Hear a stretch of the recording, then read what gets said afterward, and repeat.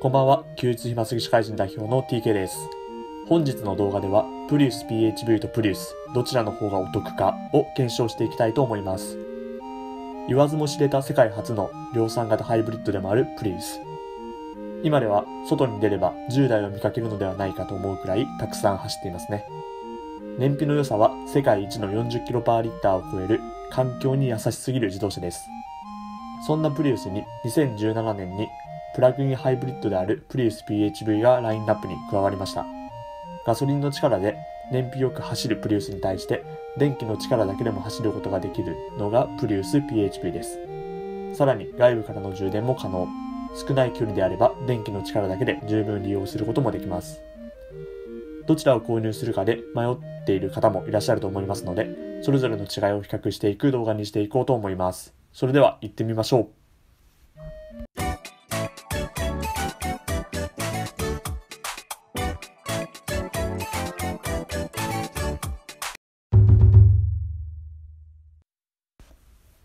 具体的には以下3点で比較をしていきたいと思います。1、値段。2、燃費。3、ボディサイズです。他にも比較すべき項目があるかもしれませんが、こちらの動画ではこの3点に特に焦点を当てて比較していきます。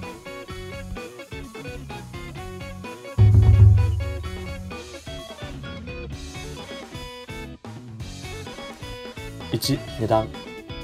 2021年3月現在、トヨタ自動車のホームページにて抜粋した価格になります。まずプリウスの値段ですが、グレードごとには下記のようになっております。最も安い E グレードが260万円、最も高い A プレミアムが324万円という価格になっております。続いてプリウス PHV の値段は S グレードが331万円、A プレミアムが393万円となります。E グレードはプリウスにしかありませんので、それ以外のグレードを比較してみましょう。S グレードではプリウス264万円、プリウス PHB が331万円、その価格差は66万円に及びます。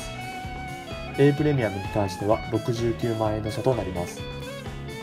価格だけで見れば、プリウス PHV の方が高い結果となりましたが、PHV にはいくつか減税が適用されます。CEV 補助金は20万円出るので、差は49万円まで縮ませることができます。では、維持費、特にプリウス PHV で電気のみを使う場合を考えると、この差を埋めることはできるのでしょうか？若干極端な例かもしれませんが、ざっと大きな感覚をつかんでみましょう。プリウス PHV の EV 走行距離は 68km です。ハイブリッドで 37.2km/L の場合、68キロを走るのであれば1.8リッター必要となります。ガソリンの価格が130円パーリッターと仮定すると68キロは 130×1.8 イコール234円となります。一方プリウス PHV の走行距離はバッテリー容量が 8.8kWh です。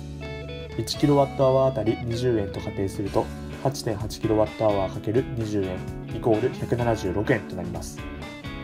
68キロ走行するのに、プリウスであれば234円、プリウス PHV であれば176円、つまり58円の差が生まれる計算となります。一般的に1年で1万キロ走行すると言われていますので、そこに当てはめてみましょう。68キロで58円の差が出ましたが、1万キロで計算をすると8529円の差が出る計算となります。さ49万円を埋めるためには49万円割る8529円イコール57年となりますので57年プリウス PHV に乗り続けてやっと差分を回収することができるという計算になってしまいます。うん全く現実的ではありませんね。もしくは57万キロ電気の力だけで乗り続けることができればやっと元が取れます。そう考えるとやはり現実的ではないので価格の勝者はプリウスとなるかもしれません。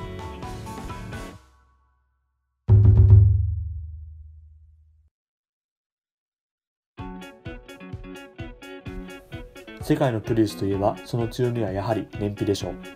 カタログ値だけで比較をしてみますがプリウスとプリウス PHV はどちらの方が燃費がいいのでしょうか。結論からですがプリウスの E グレードで一番安いモデルなので 40.2kg パリッターという驚異的なスペックが出ています。通常グレードである S、A、A プレミアムグレードは 37.2kg パリッターとプリウス、プリウス PHV ともに同数値の燃費となっています。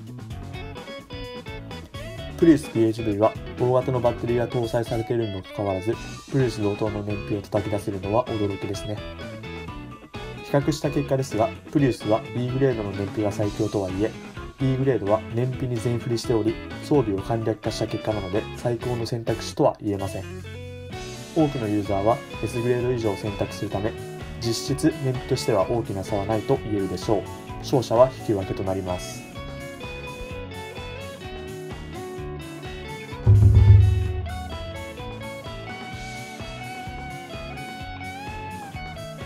3ボディサイズ。プリウスは全長 4575mm 全幅 1760mm 全高 1470mm です。プリウス PHV は全長 4645mm 全幅 1760mm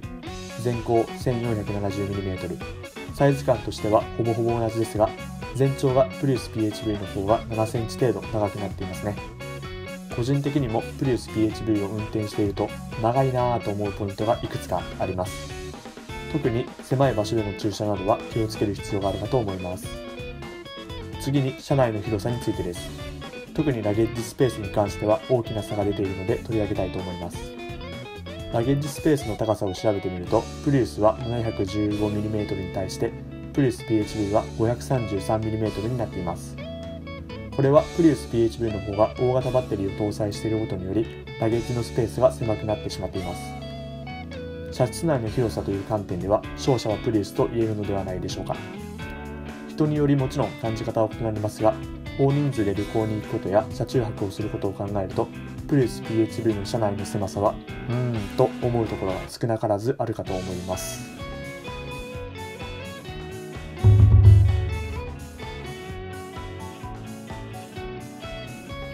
はい、いくつかの観点からプリウスとプリウス PHV どちらがお得かを検証してきました。